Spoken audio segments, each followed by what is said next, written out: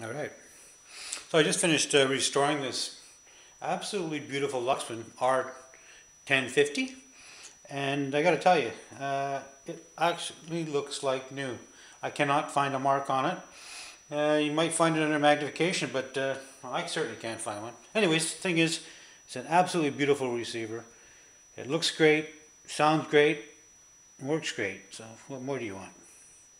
Let's give it a try. Has protection. And once that light goes out, she's ready to roll. Keep your volume off. Wait for the light to go.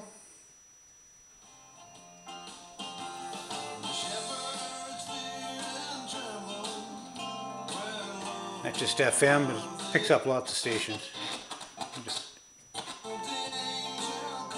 And it holds the signal, can run it for days and drift.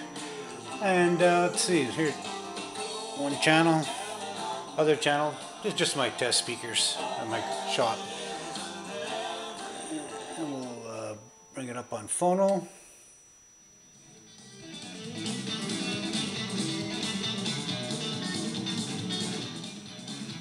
I rebuilt the phono preamp.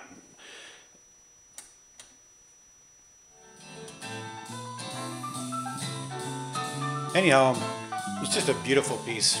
Uh, anybody who owned it will be proud of it, and uh, it's been well looked after from day one, obviously. And uh, like I said, it looks great, sounds great, it's a sweet piece. All right.